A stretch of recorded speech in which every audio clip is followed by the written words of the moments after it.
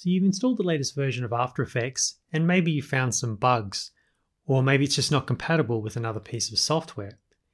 The good news is that you can easily install a previous version. So find and click on the Creative Cloud app. Here on a Mac, it's in the upper right corner. Scroll down until you find After Effects. Here it is just here.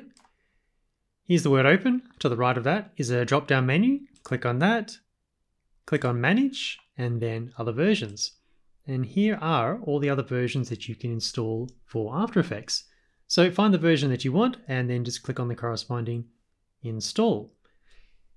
That will start downloading immediately.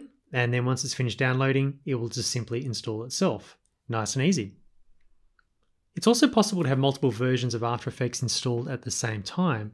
And I'm going to demonstrate that with InDesign. So I'll just close up this and scroll down to InDesign just here because what I wanted to show you is this little triangle just here, which is the app's way of letting us know there are multiple versions of, in this case InDesign, installed on this machine. So if I click on the triangle, it will open that up and show me all of the versions of InDesign that I have installed. In this case, it's two, and I can easily open up any of those using the corresponding open buttons just here. That's it guys. Hope it helps. Catch you later.